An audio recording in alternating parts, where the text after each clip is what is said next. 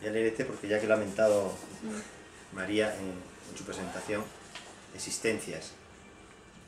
Todo se porta y se traslada, todo queda ajustado, listo para la venta.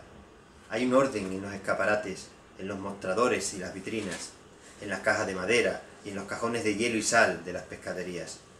Un mar de colores lo alumbra todo, en las frutas y verduras que ofrecen otro jugo y otra carne. Todo se prepara concienzudamente, todo se dispone para el deleite de los sentidos. Llegará el tumulto y el deseo, la gula y la necesidad inventada de los hombres. Un día más, ese ajetreo desordenará lo que fue habilitado tan temprano.